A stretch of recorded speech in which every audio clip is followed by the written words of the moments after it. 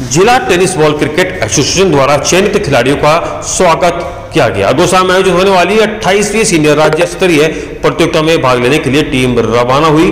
Railway station पहुंचकर पाली कांग्रेस विधानसभा प्रत्याशी रहे महावीर सिंह सुकरलाई और रोहत प्रधान सुनीता कंवर ने खिलाड़ियों से मिलकर उनका माल्यार्पण कर शुभकामनाएँ दी।